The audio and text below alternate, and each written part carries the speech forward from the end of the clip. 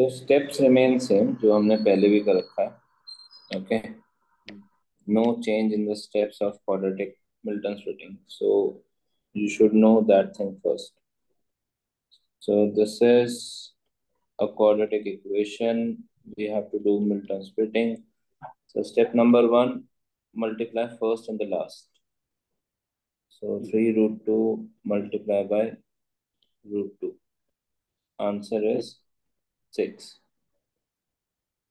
Okay, because root 2 into root 2 is 2.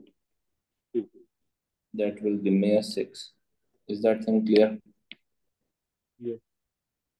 Now, after that, I think it should be simple. 6 factors are 1 into 6 and 2 into 3. And I need 5. That to minus 5.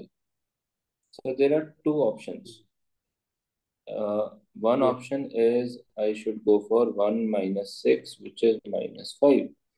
Another option is minus 2, minus 3, minus 5. So I have to try both, to be frank. Okay. okay. Now one hint is, over here there is root 2. So I think I should go with this thing. Because there is 2 in this. Is the logic clear? Why I'm going with minus 2, minus 3?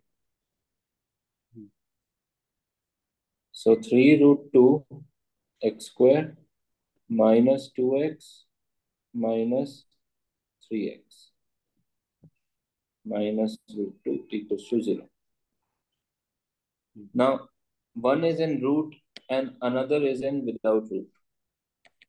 Now, always remember one thing, one root, root x multiplied by root x is x.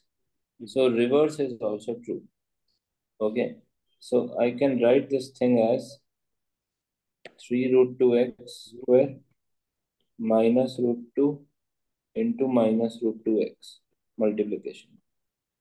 Over here, I don't need to do this thing because one is 3 and one is root 2. Nothing common is going to happen over there.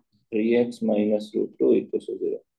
Now, root 2x common, root 2 root 2 cancel, x, x common. So 3x minus x is common, root 2. Over here, minus 1 common, 3x minus root 2 equals to 0. So 3x minus root 2 and root 2x minus 1 equals to 0 is the answer.